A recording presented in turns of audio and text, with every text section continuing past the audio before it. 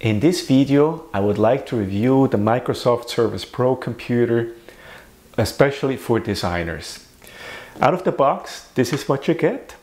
It's a very light, nice computer. It's a perfect size to jot down ideas or to make sketches.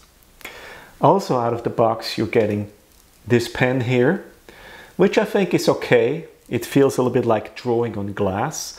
And therefore, I purchased this bamboo Wacom pen, uh, which I'm going to review in another video. But it's an excellent pen and I highly recommend you get one of these. Also, I recommend you should get one of these keyboards.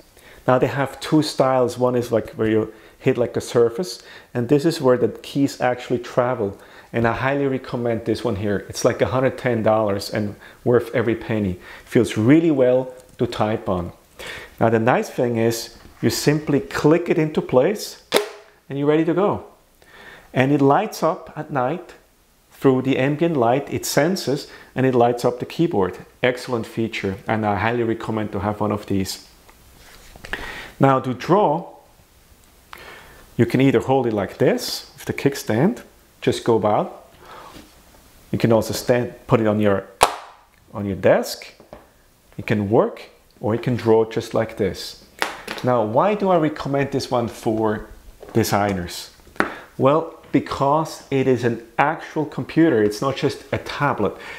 You can load all your favorite programs like Photoshop, Illustrator, Corel, Painter, you name it. You put it on this computer and it is fast. I don't want to get into all the details of how fast the processor it has and you can rate this everywhere but it is very responsive and that's why I recommend this computer. Let me show you. I'm going to load a few programs that you're probably familiar with and you see how it feels and you see the, the feedback and you decide for yourself. I personally, I give this computer five stars. I think it is an excellent tool for every designer.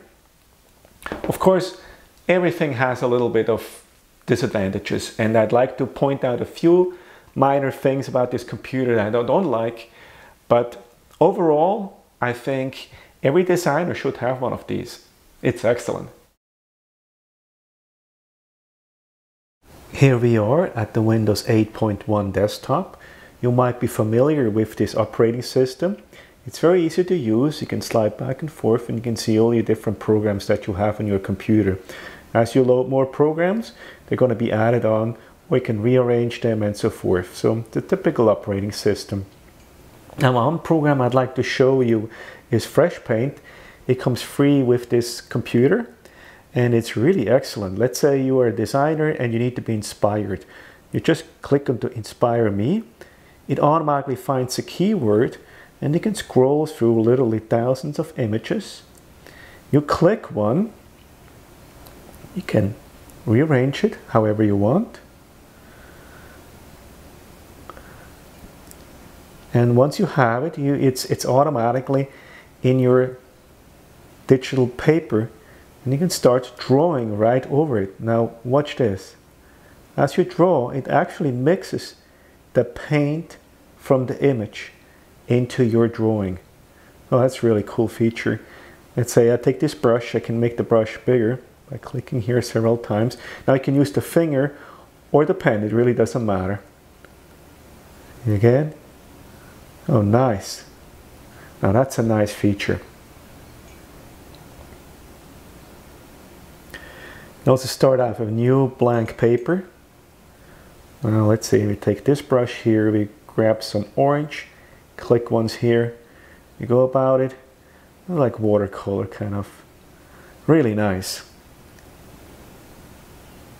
There's some, you see it keeps track of your older or drawings that you don't didn't save. It saves it automatically. Or this is something I did a while back. I just jotted down some ideas that I had and you can select the pen and you go about it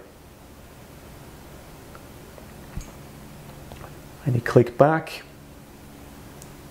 it'll automatically save your painting To close, you slide down and you're out of that program. Now another program I like to use is called Sketchbook Pro. Clicking that, did you notice how fast that loads? It's really a joy. So here I have more brushes that I can pick from. It's a really nice tool. Have here a 2B uh, pen and I go about drawing something and it feels a lot like a really like a 2B pencil. The more I press down, the harder and darker the paint becomes. So I can sketch it. It's a little bit difficult. I'm drawing it from the side. Now, what's nice about this program is you can add another layer. You take a, an airbrush, you pick your color, and you draw paint on that new layer. Let me do something fancy here.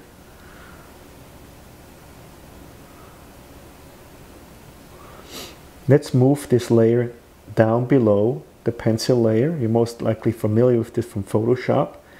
And you can now very quickly clean this up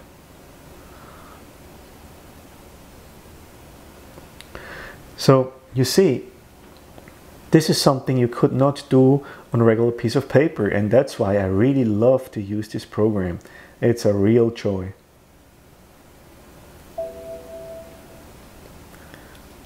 Clicking the start button, you're back here again. Now let me load Photoshop. Do you see how fast that loaded? It's a little bit difficult from the side here. Photoshop, I don't like too much to work on on this tablet because the icons become very small, which is of course good because you get more real estate for the paper, but it is not as responsive as Sketchbook because it has a lot more features and therefore it slows down a little bit. It is very good, however, to touch up photos and do your typical photo retouching work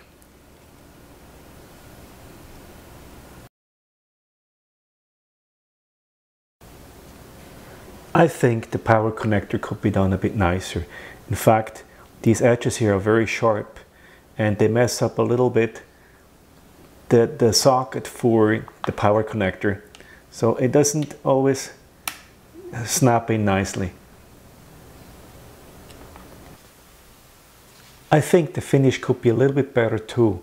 As you can see here, the paint has been chipped off and I take pretty good care of my computer but uh, it's like at the edge here for some reason it lost the paint there these are some of the minor flaws this computer has don't really bother me but it might bother you.